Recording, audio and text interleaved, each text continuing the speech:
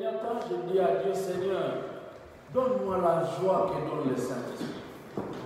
Je ne veux pas être rempli de la joie des choses de ce monde. Je ne veux pas être ravi de la joie parce que peut-être je vois mes frères, mes soeurs, mes amis. Peut-être parce que je m'endors et je me réveille. On se réjouit parfois. Amen. C'est comme une histoire que j'avais apprise.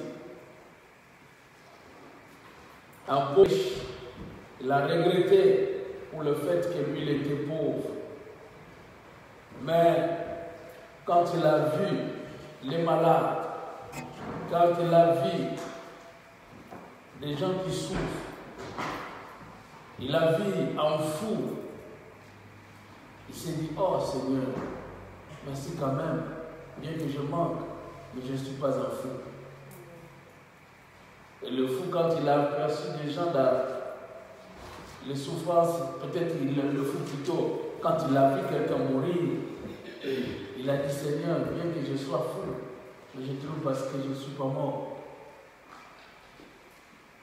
Il n'y a que des vivants qui rendent gloire à Dieu. Amen. Alléluia. La joie, ce n'est pas le fait de vivre, mais la joie, c'est le fait d'être avec Dieu. Parce qu'il y a même ceux qui meurent, ils meurent dans la joie parce qu'ils meurent dans le Seigneur. Alléluia.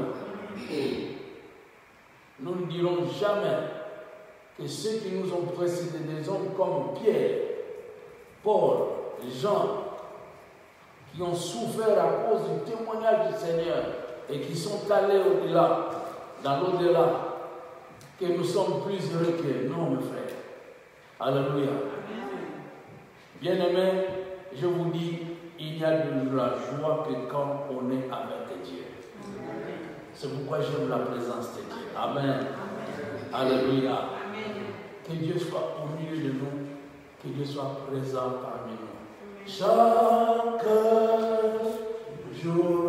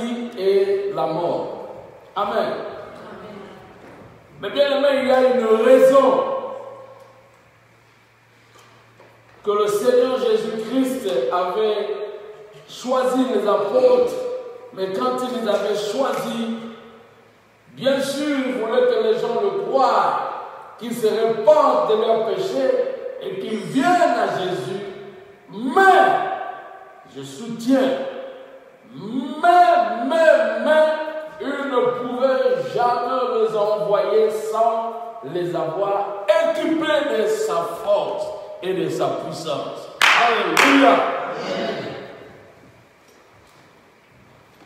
L'évangile sans la puissance de Dieu, ce n'est pas l'évangile. Et Paul disait, je ne prends honte de l'évangile, car c'est une puissance de Dieu pour le salut de quiconque croit. Amen. Si vous me souvenez bien, tous ces derniers temps, je parle sur la puissance de Dieu. Mais bien aimé, le Dieu que nous invoquons, le Dieu que nous prions, il est fort, il est puissant. Nos pères dans la foi qui l'ont connu avant, comme Abraham, Isaac et Jacob, nous avons lu le texte un jour dans Exode chapitre 6 où Dieu s'est fait connaître. À Moïse, il va dire que tes pères, Abraham, Isaac et Jacob, m'ont connu comme étant le Dieu tout puissant. Alléluia. Sans la puissance de Dieu, nous allons fermer nos Bibles. Sans la puissance de Dieu, les gens ne vont pas se repentir. Sans la puissance du royaume des cieux, mais bien aimés, nous allons fermer les églises. L'église se pose aussi dans le des miracles de Dieu. Amen. Parce que quelqu'un qui était un pécheur et qui soit converti, mais bien aimé, c'est une force, c'est une puissance qui a intervenu. Amen. C'est pourquoi aujourd'hui, mes bien-aimés, je viens vous parler de Jésus qui est plus fort et plus puissant que la maladie, aussi que la mort. Acclamons très fort le Seigneur. Souvenez-vous, Jésus, quand il avait envoyé pour la première fois ses disciples. Amen.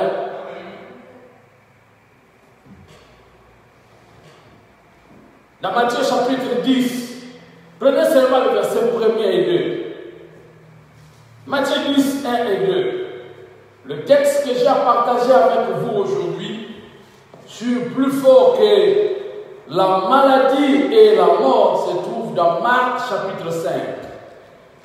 Prenez Marc chapitre 5, verset 21 jusqu'à verset 42. Amen. Marc chapitre 5, 21 à 42. Peut-être que vous allez vous poser la question, mais pasteur, pourquoi tu avais donné le passage de Matthieu? C'est très important. Avant de lire ce passage, nous allons lire le passage de Matthieu. Mais le texte de base aujourd'hui, c'est Marc chapitre 5, verset 21 à 42. Comme je, vous l'avais annoncé, nous allons prendre quelques extraits du verset que nous allons lire parce que nous ne voulons pas lire tout le passage. Amen. Alléluia. Plus fort que un, la maladie, et deux, la mort. Gloire à Dieu. Alors nous sommes dans Matthieu chapitre 10. Si nous pouvons nous lever, chacun va lire dans sa Bible, verset 1 à 2. Matthieu chapitre 10, verset 1er et le verset 2. Vous y êtes? Amen. Alors nous allons lire ensemble. Allons-y, une, deux, trois, go. Jésus appela ses douze disciples leur donna l'autorité de chasser les esprits mauvais et de guérir toute maladie et toute infirmité. Voici les douze apôtres d'abord, Simon, gloire à Dieu, Aha. Ainsi de suite. Amen. Mais le verset 1, je répète dans ma version, il est dit, Jésus appela ses douze disciples leur donnant l'autorité de chasser les esprits mauvais et de guérir toute maladie et toute infirmité. Vous pouvez vous asseoir. Je voulais vous dire que quand Dieu envoie quelqu'un, il ne l'envoie jamais sans l'avoir équipé aussi de sa force et de sa puissance. Amen. Ça, c'était la première mission. Quand Jésus avait envoyé ses apôtres, pour la première fois, il dit, allez vers le, le perdu d'Israël. Là, c'était en Palestine. C'est là où il les avait envoyés. Amen. Mais quand il va les envoyer maintenant dans le monde, il va insister que ne quittez pas encore Jérusalem. Attendez jusqu'à ce que vous puissiez avoir la puissance d'amour. Amen. Alléluia. Bien-aimé dans le Seigneur, en tant que chrétien, vous devez savoir que si vous n'êtes pas équipé de la force et de la puissance d'en haut, vous pouvez être facilement broyé. Vous, pouvez facilement être écrasé. Aussi bien, vous pouvez même abandonner le monde, le, le Seigneur et aller au monde, ou même consulter le marabout, consulter le charlatan, consulter les féticheurs. Pourquoi? Parce que vous ne voyez rien dans la présence de Dieu. Alléluia. Il faut que Dieu se révèle encore en nous et se manifeste puissamment tous les jours. Amen. nalingi namona bikamwa na nzambe nzambe bien-aimé quand vous entendez Dieu parler c'est merveilleux et quand j'insiste à ce point vous allez même remarquer même dans l'ancienne alliance l'ancien testament quand Dieu appelait ses serviteurs il les équipait quand il a appelé Moïse Moïse se disait je ne peux pas aller comme ça vide non je dois être protégé, je dois être gardé. Amen. Et Dieu va lui dire, qu'est-ce que tu as dans ta main? Et quand il va jeter le, le bâton qu'il avait, le bâton s'est transformé en serpent. C'est alors qu'il a compris que la puissance de Dieu l'accompagne. Rappelez-vous même de Gédéon, avant que le Seigneur puisse l'envoyer. Dieu a dit, va avec cette force que tu as. Alléluia. Bien-aimé dans le Seigneur, je suis en train d'insister. Si vous n'aimez pas le miracle, si vous n'aimez pas la puissance de Dieu, un jour vous allez embrasser le diable. Mais si vous expérimentez la puissance de Dieu, jamais vous allez suivre l'ennemi parce que vous avez tout par celui qui vous fortifie, qui est Jésus-Christ, le prince de la gloire. Amen. Acclamons très fort. Et alors, mon frère, ici, nous sommes avec le Seigneur Jésus. D'ailleurs, lui, la relation Parce que c'est le Saint-Esprit qui est l'agent céleste qui nous communique la puissance de Dieu. Amen. Une puissance déclarée, puissance de Dieu, s'il n'est pas produit, si la puissance n'est pas produite du Saint-Esprit, c'est que ça vient de de, de, de, de l'autre côté. Amen. C'est un vœu étranger. Parce qu'il n'y a que le Saint-Esprit qui est l'agent céleste qui communique la puissance de Dieu. Amen. Alors la relation de notre Seigneur Jésus-Christ avec le Saint-Esprit, sachez d'abord que Jésus a été conçu par la puissance du Saint-Esprit en Marie. Parce que quand Marie a demandé à l'ange, comment cela se fera-t-il? L'ange a dit, le Saint-Esprit te couvrira. Alléluia Et l'ange a déclaré, c'est même l'enfant qui naîtra de toi, on l'appellera fils du Très-Haut. Alléluia Gloire au Seigneur. Dis avec moi, j'aime le Saint-Esprit. Amen. Acclamons pour le Saint-Esprit. C'est pourquoi, quand nous regardons au Seigneur Jésus, nous verrons même qu'il a été conduit par le Saint-Esprit dans le désert pour être tenté par les diables, c'est vrai, mais quand le diable n'a pas pu le vaincre, la Bible dit il était revêtu de la puissance du Saint-Esprit, comme vous lisez Luc. Et alors, il est entré dans la synagogue. Et quand il est entré dans une synagogue, un sabbat bien donné, on lui avait remis le livre du prophète Ésaïe. Et il a récité Ésaïe chapitre 61. Là où il est dit, respire Seigneur, et sur moi, parce qu'il roi. Alléluia. Disons ensemble l'Esprit du Seigneur. Alors, bien aimé Jésus notre Seigneur, Pierre l'avait témoigné. Et nous allons comprendre même ce miracle accompli ici par Jésus, parce qu'il a vaincu la maladie, il a vaincu aussi la mort. Mais tout cela a été produit de l'action du Saint-Esprit. Et Pierre va témoigner quelque part. Je veux bien lire ce passage.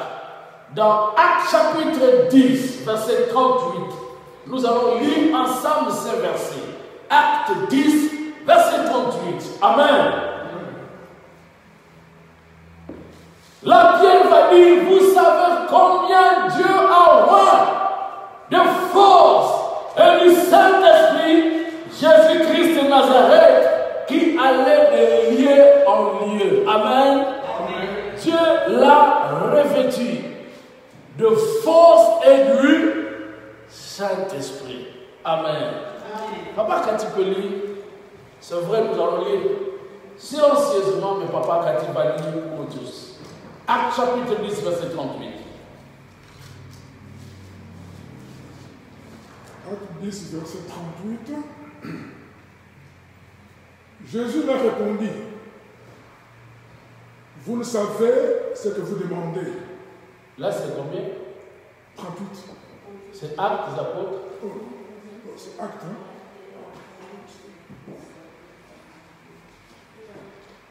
Acte 10, verset 38.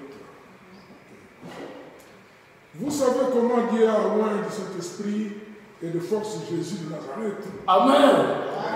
Vous savez comment Dieu a loin. Amen. De quoi Du Saint-Esprit Du Saint-Esprit et de force. Amen. Mes frères, Jésus aimait bien aussi la force d'en haut. C'est pourquoi il a été aussi revêtu de la puissance d'en haut. Amen.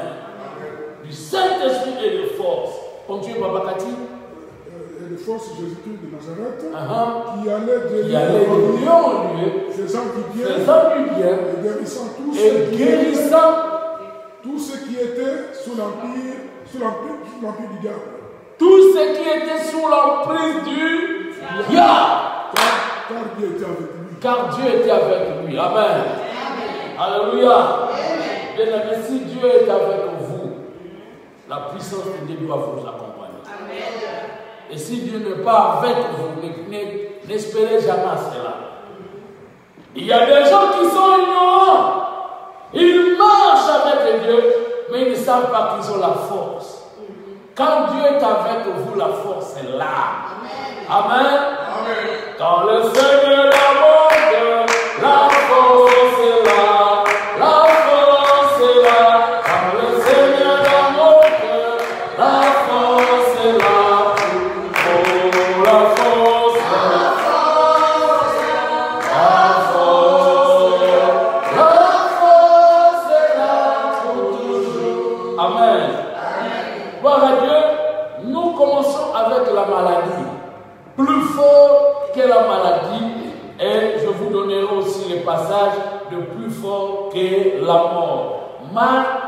chapitre 7. N'est-ce pas? Verset 21. Papa Cathy commence à lire. Jusqu'au Vous allez vous arrêter jusqu'au verset 30. Jésus dans la barque regagna l'autre rive, où une grande foule s'assembla près de lui. Il était au bord de la mer. Alors vint un des chefs de la synagogue nommé Jairus, qui, l'ayant aperçu, se jeta à ses pieds et lui adressa une instant, cette- et lui adressa cette instante prière. Ma petite fille est à l'extrémité. Viens, impose-lui les mains afin qu'elle soit sauvée et qu'elle vive. Jésus s'en alla avec lui. Et une grande foule le suivait et le pressait. Or, il y avait eu une femme atteinte d'une perte de sang depuis 12 ans. Elle avait beaucoup souffert entre les mains de plusieurs médecins. Elle avait dépensé tout ce qu'elle possédait et elle n'avait trouvé aucun soulagement, mais était allée plutôt en empirant. Ayant entendu parler de Jésus, elle vint dans la foule par derrière et toucha son vêtement. Car elle disait, si je puis seulement toucher ce vêtement, je serai guéri. Au même instant, la perte de sang s'arrêta et elle sentit dans son corps qu'elle était guérie de son mal. Jésus connut aussitôt en lui-même qu'une force était sortie de lui. Et se retournant au milieu de la foule, il dit, qui a touché mes vêtements? Alléluia. Seigneur. Là, nous avons le deux cas. Sauf le premier cas n'est pas encore à son terme. Le premier cas, c'était le cas d'une maladie, mais qui avait fini avec la mort. Amen. Alléluia. Et alors nous allons comprendre aussi ce problème de la mort. Pour ne pas revenir encore, je demanderai à Papa Cathy de lire maintenant quand il y avait la mort. Alors nous sommes au verset 35. Papa Cathy va lire 35 jusqu'à verset 42.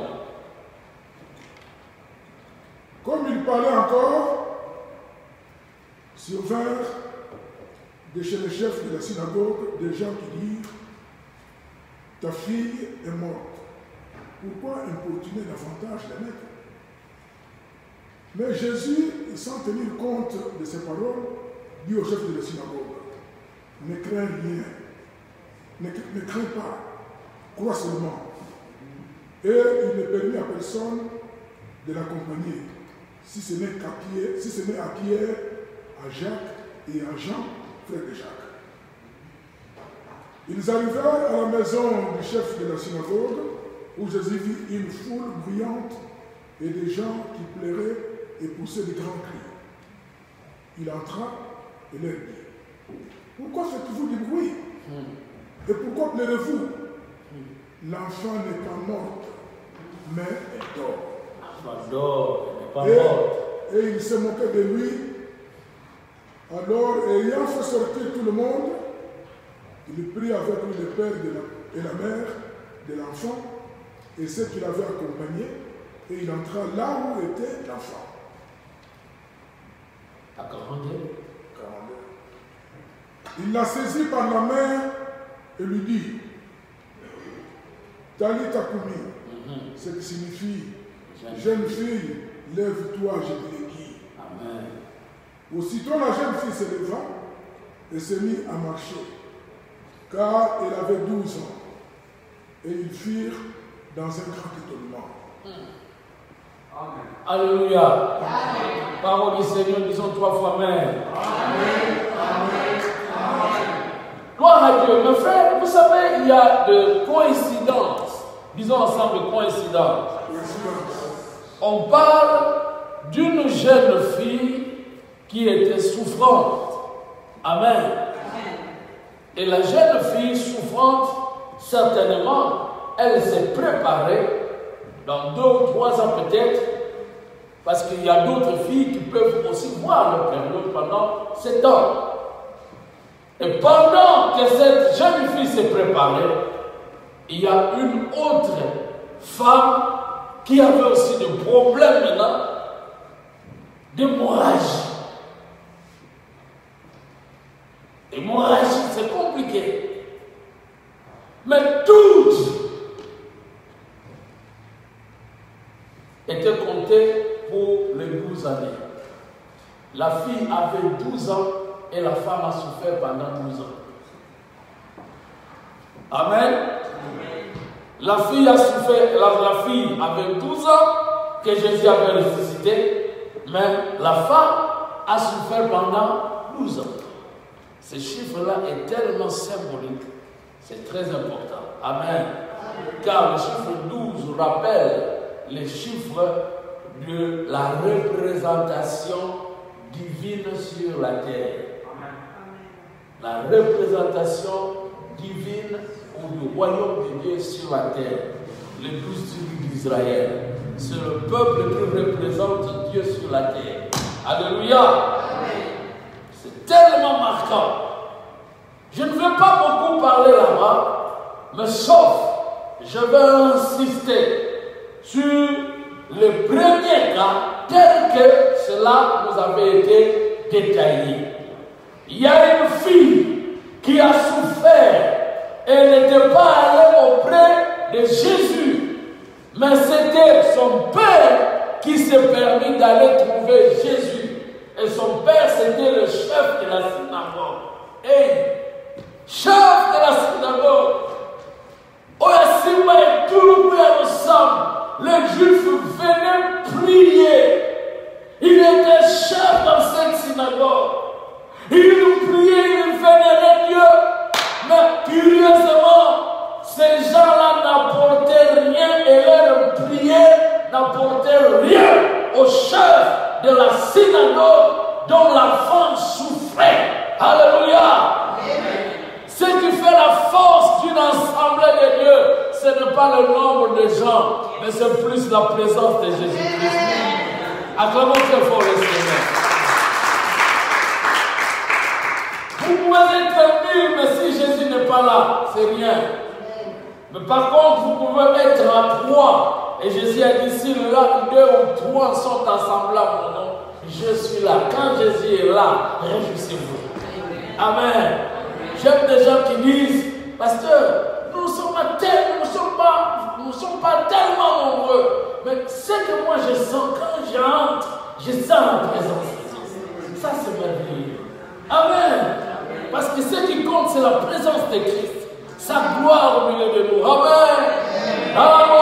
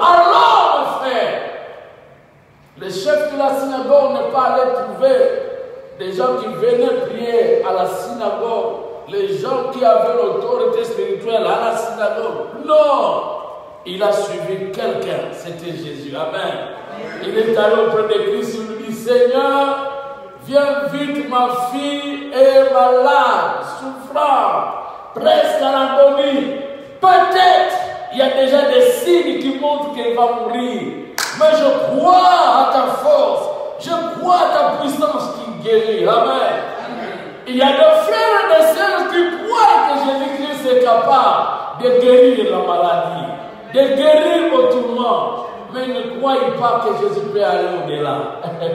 Alléluia. Notre foi ne doit jamais être critiquée. Amen. Il faut que nous soyons éprouvés, mais notre foi doit être au-delà de ce que les gens pensent, au-delà de ce que les hommes demandent. Amen. Amen. J'ai appris une histoire, mes frères. Il y avait quelqu'un qui était habitué à la cire. Et il avait la possibilité de marcher sur une corde qui était attachée de deux points en haut. Et alors, l'homme marchait, tous les gens le regardaient. Il marchait, marchait. Oh, On l'acclamait. Ah! Et il dit, mes frères, je peux même traverser de à partir de l'autre côté jusqu'au haut avec une brouette. Est-ce que vous le croyez? Dit, nous le croyons, nous le croyons. Ok, ça va. Essaye. Il a essayé, mes frères, avec la brouette. Pouah Il est parti. Il est revenu. Waouh Tellement les gens étaient même éveillés. Alors il a dit, je peux même aussi mettre des pierres. Il a traversé. Alors comme les gens le croyaient toujours, il est venu auprès d'une personne qui le croyait fermement. Alors, il dit, est-ce que tu crois que je peux mettre quelqu'un sur la brouette et puis traverser? Il a dit, oh mais, toutes les expériences que tu viens de prouver, ça c'est facile pour toi. Il a dit, ok, viens, je vais te mettre même dans la brouette. Il a dit, oh non, pas jusqu'à Amen.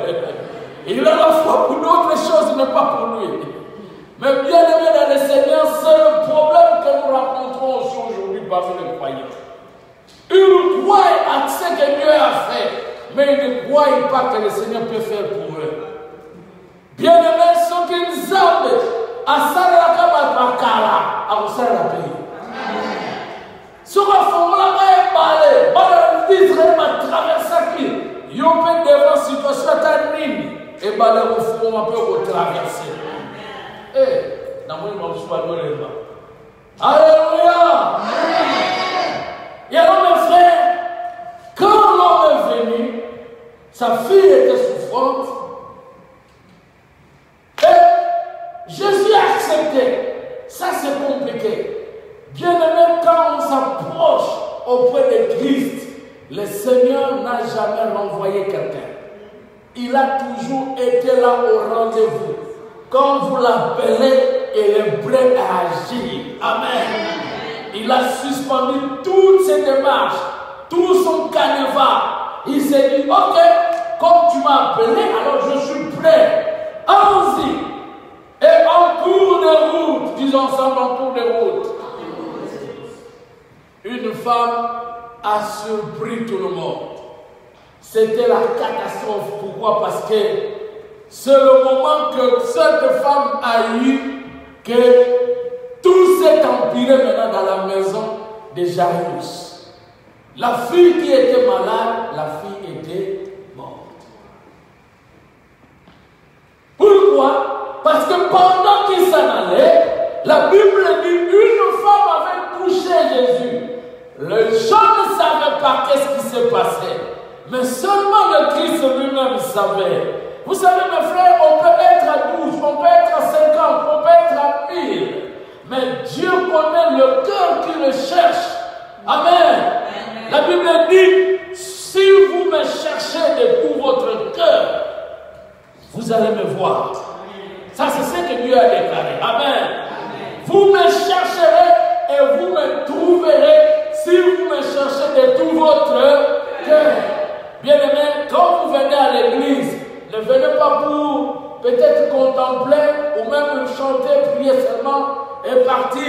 Non, mais venez avec l'esprit de voir Dieu. Et vous allez sortir avec quelque chose de la part de l'éternel. J'attends quelqu'un qui crie plus fort Amen. Acclamons très fort le Seigneur. Parce que la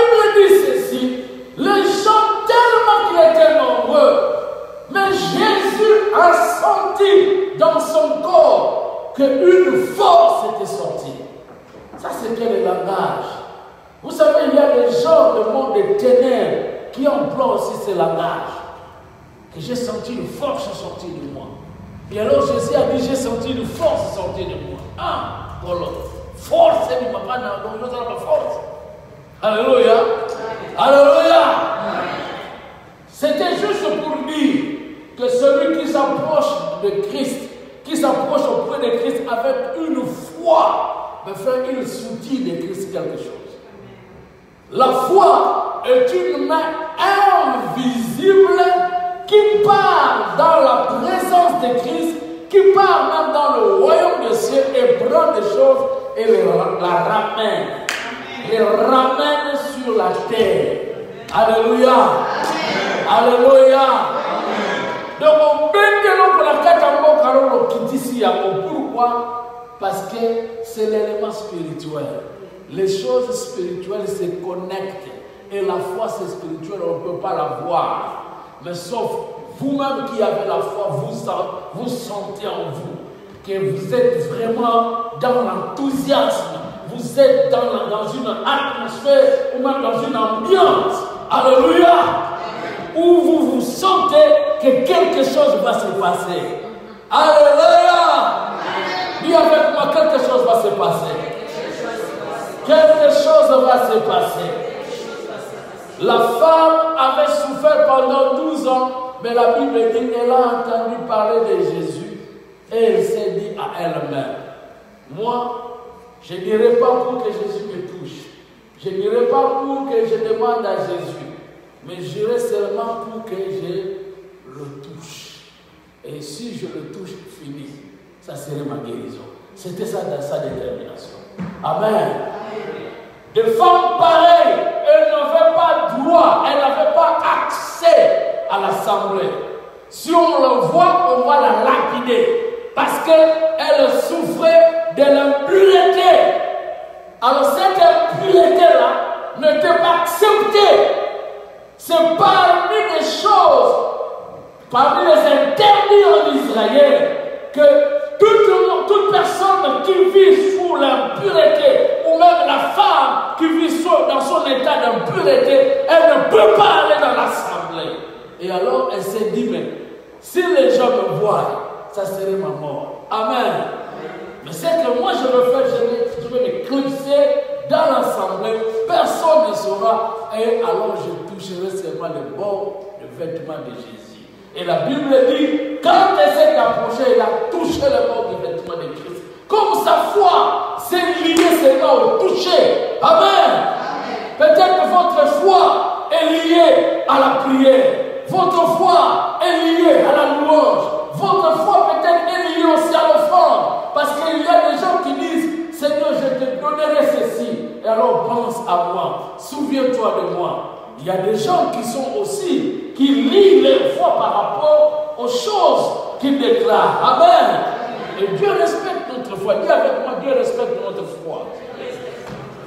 La femme, sa foi était que si je touche, je serai guéri. Et quand elle a touché, elle a senti sa guérison. Et Jésus a dit, une force était sortie de lui. Il a posé la question, qui m'a touché? Les apôtres se disaient, mais il y a des gens si nombreux ici, on te touche partout, tout le monde veut te toucher, on te touche. Mais pourquoi tu te poses la question, qui m'a touché? Parce qu'il y a des gens qui ne touchent seulement le public. Ah, la Mais il y a des gens qui disent que sont dans dans Il y a des gens qui disent que si je pars à l'église, je ne sortirai pas tel que moi, je suis, je suis parti. Bien aimé, ils vivent aussi des choses Amen. Alléluia. C'est pourquoi, quand vous vous approchez de Christ, ayez votre foi. Il y a des gens, ils aiment tellement la louange et ils se disent que c'est pendant la louange qu'ils voient leur délivrance. c'est la délivrance c'est la prédication. Tant que vous avez la louange. Au lieu de la prédication, vous avez le routier. Ça, c'est la louange. On rate louange. Alléluia. Alléluia. C'est pourquoi il faut aimer toutes les parties du culte. C'est très important parce que même au début même, Dieu peut vous visiter. J'attends que quelqu'un qui plus fort. Amen. Alors mes frères et sœurs, plus fort que la maladie, c'est avec cette femme. La Bible dit, cette femme a souffert pendant 12 ans. Chose incroyable. Quand elle allait voir le médecin, la Bible dit, c'était peut-être mieux pour elle qu'elle ne parte pas, qu'elle n'aille pas voir ou consulter le médecin. Parce que si une fois elle part voir le médecin, la situation s'empire la bataille. nani sio mzo comprendre Alléluia so akutana mungu ngachokuwa malamu mais soki akekutaka na mungu nga situation yesu grave leka alors asala nini amen. Alléluia. Elle a tout dépensé, mes frères.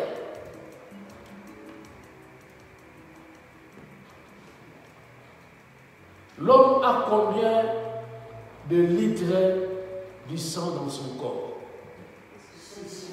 5 litres. Amen. 5 litres. Et voyez la femme avait la perte du sang, pas pendant un mois, mais pendant 12 ans. Alléluia. C'est comme si ma transfusion, c'est ma transfusion, comme la biloko esalaka makili ezonga na nzoto donc a utilisé tous les moyens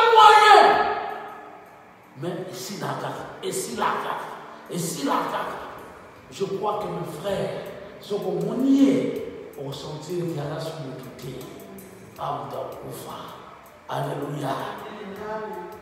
Une maladie peut-être aujourd'hui on la qualifierait, on la qualifierait de maladie incurable, qui ne peut pas être guérie. On a tout fait, rien. Les spécialistes étaient là, ils ont tout fait, rien. Et alors ce jour-là, quand elle a rencontré l'homme de Galilée, Alléluia!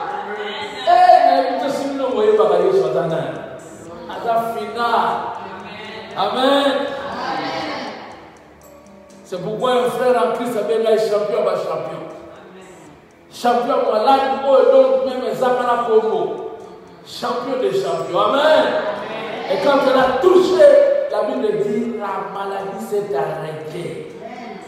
Donc c'est pour dire que même au moment où elle venait, elle souffrait déjà de cette perte.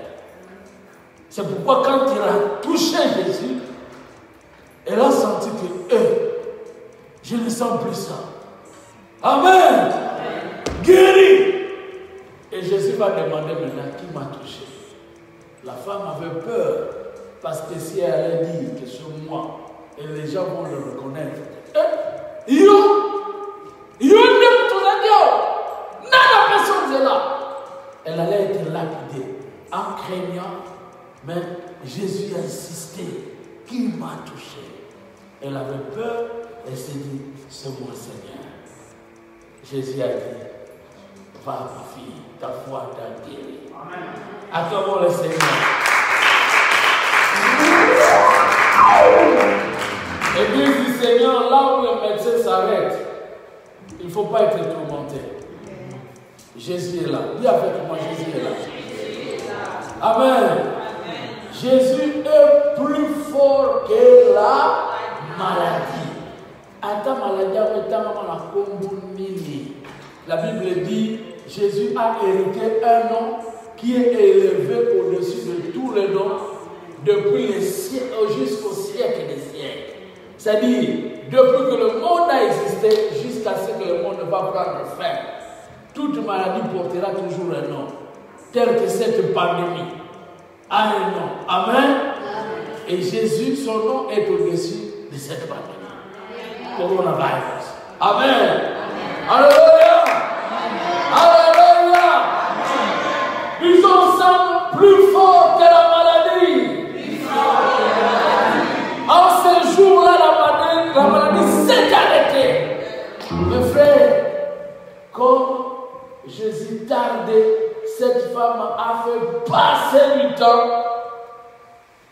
gens qui étaient dans la maison de Jairus, parce que Jairus qui était venu pour dire à Jésus, viens guérir ma fille, était là. Et là, il a tout vu, tout ce qui se passe au sujet de cette femme. Mais il apprendra maintenant auprès des gens qui sont venus chez lui. Il vient lui dire, euh, Jairus, ah oui, oui. N'importune plus le maître, ne le dérange plus. Parce que tu es venu voir Jésus pour ta fille qui était malade, c'est regrettable, elle est déjà morte. Alléluia. N'importune plus le maître. kotumisa so mokonzi eh. donc tout le monde savait seulement que jésus il s'arrêtait seulement à guérir les malades amen mais quant à la mort ah non il ne peut rien veuillez m'excuser même ses propres disciples tels que Marthe et Marie elles croyaient la guérison c'est pourquoi quand Jésus était encore près de Bethanie ils, avaient envoyé quelqu'un pour aller apporter la nouvelle et dire à Jésus que ton ami, celui que tu aimes, Lazare est malade, viens au plus tôt pour le guérir. Et Jésus a passé des jours, il n'était pas arrivé. Lazare est mort, Lazare a été enterré. Et Jésus arrive le quatrième jour quand Lazare était déjà dans la tombe. Amen. Alléluia. Et quand Jésus va se placer devant la tombe, et il va dire ôtez la pierre. Mes frères, c'est Marc qui va se présenter pour lui, Seigneur. Il le sent déjà. À sa poulie, tu es bien, n'a pas force, hein? mais awa, pardon, équipe c'est politique à moi. Alléluia. Mais Jésus va lui dire Marc, ne t'ai-je pas dit que si tu crois, tu verras la gloire? De Dieu. Acclamons le Seigneur.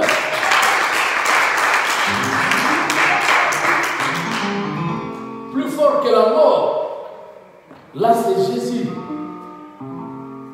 Quand il a vu le chef de la synagogue découragé, c'est comme si chef de la synagogue a dit à la masabi, bino. Ngana na.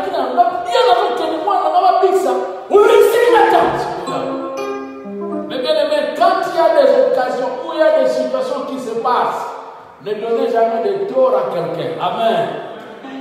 Mais ayez toujours votre foi en Dieu. Parce que notre Dieu ne tient pas compte des temps, des circonstances. Il est le maître des temps et des circonstances. Il n'y a pas de retard en Dieu et il n'y a pas d'avant le temps pour Dieu. Il vient toujours à l'heure. Même si c'est trop tard pour vous, mais pour lui, c'est l'heure. Alléluia. Et Jésus va dire alors, il ne faut pas suivre tous ces gens-là. Il a incité, il a dit, crois seulement. Regarde ton ami, dis-lui, crois seulement. Le problème avec lui, c'est de croire.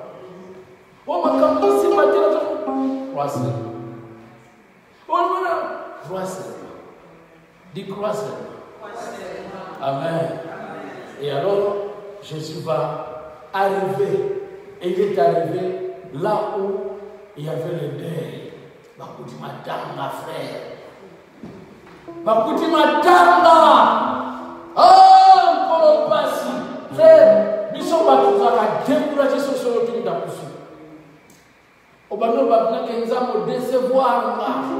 C'est comme si le roi ezalaki eloko moko en tout cas ebukaka. Alléluia.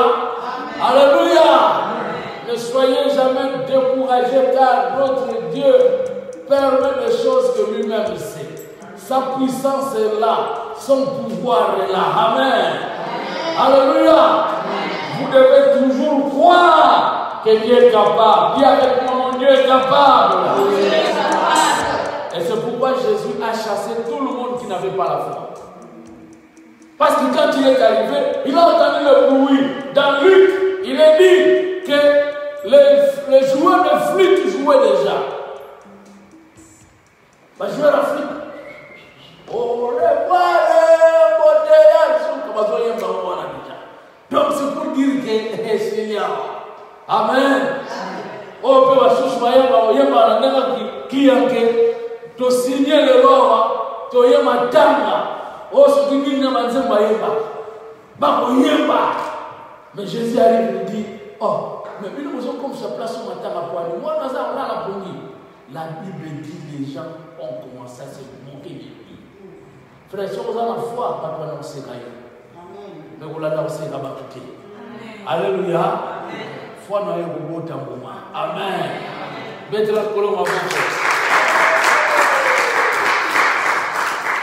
Et c'est pourquoi mes bien-aimés jésus a fait sortir tout le monde.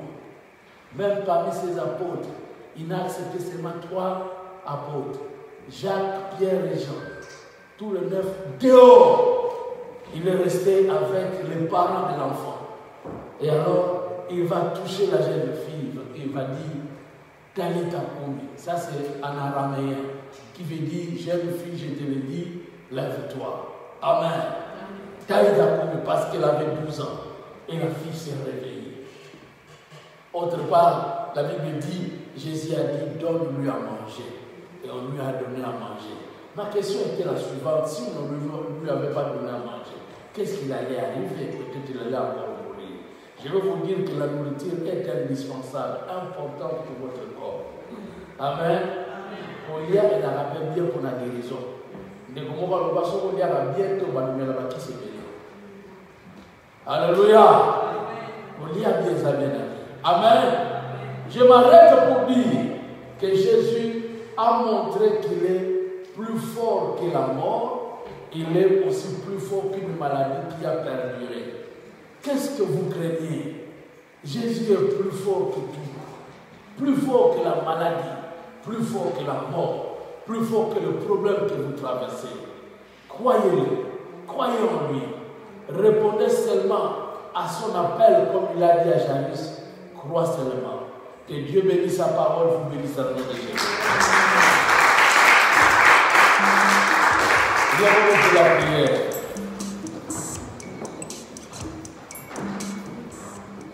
Yeah.